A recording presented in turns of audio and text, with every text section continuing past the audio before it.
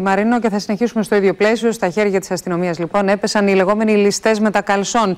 Αυτή η σπήρα χτυπούσε σε καταστήματα και σε επιχειρήσεις ως επιτοπλίστων στη Βόρειο Ανατολική Αττική. Και στο ρεπορτάζ της Ευλαμπίας Ρεύη θα δείτε αποκλειστικές εικόνες από τη δράση τους.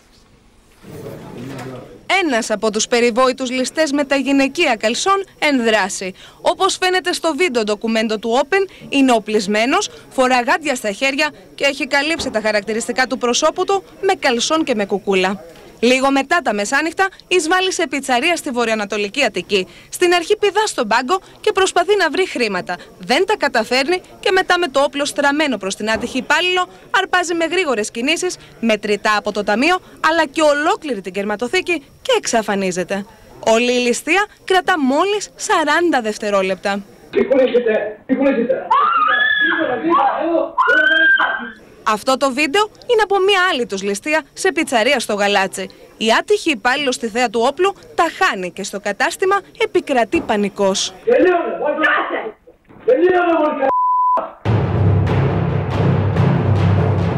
Ληστείε που έκαναν σύμφωνα με τη δικογραφία που έχει σχηματιστεί σε βάρος τους είναι συνολικά 13.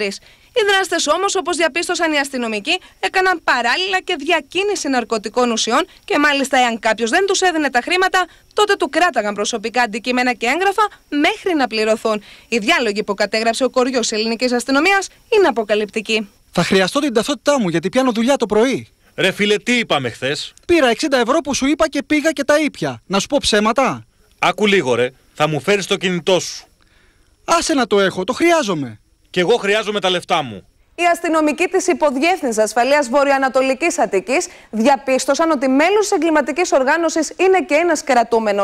Σε κάποιες ληστείες, μάλιστα, οι δράστες είχαν πληροφορίες εκ των έσω. Χαρακτηριστική είναι η περίπτωση που η αδελφή ενός εκ των κατηγορουμένων τους αποκάλυψε ότι στην επιχείρηση που δούλευε υπάρχει χρηματοκιβώτιο και όπως είναι φυσικό έγινε στόχος τους. Τρία άτομα συνελήφθησαν και μαζί με τον κρατούμενο συνεργό τους κατηγορούνται για σύσταση και συμμετοχή σε εγκληματική οργάνωση, για ληστείες και για ναρκωτικά, ενώ ένας άλλος συνεργός τους έχει ταυτοποιηθεί και αναζητηθεί.